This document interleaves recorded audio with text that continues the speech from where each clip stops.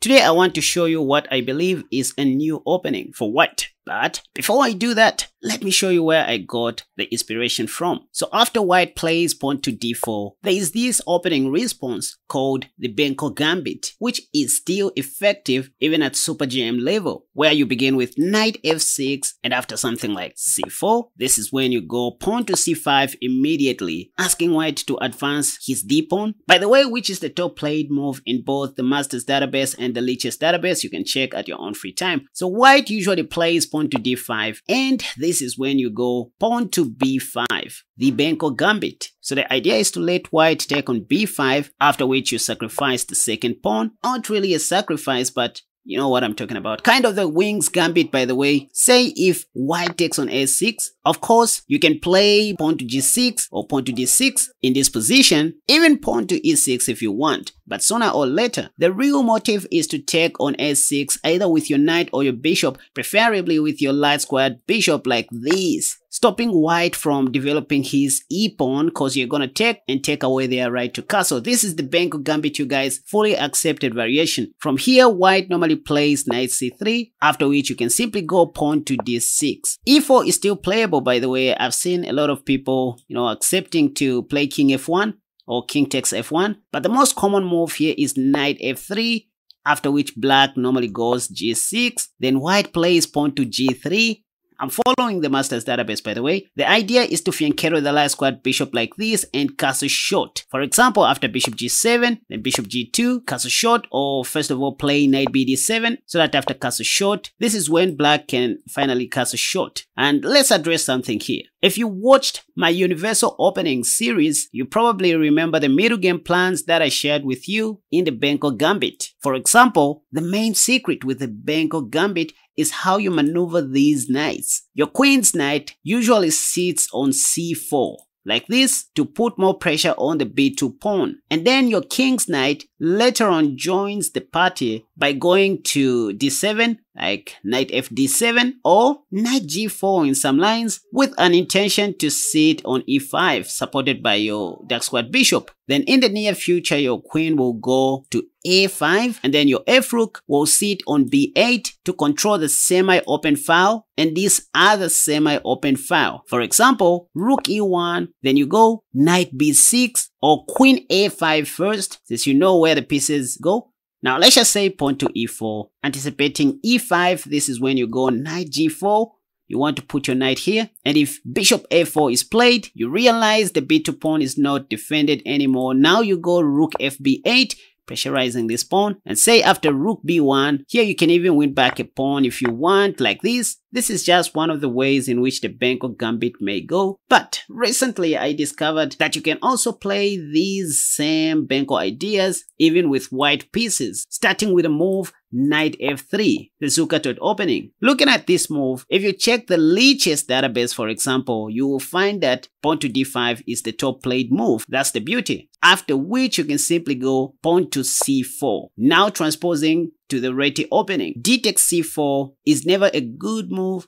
I think in one of my old videos I looked at this. The move I recommended after c6 was queen a4 if I remember very well. You can also play pawn to e3. But one of the moves you are going to see is this move pawn to d4. After seeing this, this is when you can start thinking of the reverse Benko gambit. So the secret is to start playing positional moves like pawn to g3, you fianchetto your bishop, you castle short, you play pawn to d3, and you're doing all this to wait for black to play pawn to c5. For example, here you can go pawn to d3, and the top played move in the Lichess database is pawn to c5. Makes sense, right? Trying to gain some central space, but this is when you can go pawn to b4. By the way, this is the advanced variation of the Reti opening, where you can play the reverse Benko gambit. So if black takes, you go with the same ideas, pawn to a3. This is very fine and very much playable even in classical chess. If b takes a3, you simply take back with your dark squared bishop, intending to stop black from castling short. So they play knight c6, after which you can continue playing your normal moves like pawn to g3, at this point, you might see your opponents playing pawn to e5, accepting to lose their right to castle, but hey, let's just say they go knight f6 trying to do the same, fianchettoing their bishop, so you continue with bishop g2, g6, castle short, bishop g7, And now behold the same plans I showed you in the Benko Gambit with black pieces. Your Queen's Knight will sit on c5 someday, pressurizing the b7 pawn. Your King's Knight will have to relocate to d2 or to g5 and be placed on e4 someday. Same ideas. Your queen will go to a5 or sometimes you will play queen b3 depending on the position. Another way you can try to play the reverse Benko gambit is by starting with knight f3 obviously. And let's just say black delays to play according to your plan. They open with knight f6. Well, this is when you can go pawn to g3. At this point, they may even play pawn to g6 it doesn't matter. You can go pawn to c4 if you want the reti, but just play bishop g2. They'll play bishop g7, copycat variation, you castle short, they also do the same. I'm sure you've seen even top grandmasters playing like this. So white usually wants to play the Benko gambit, if you think about it.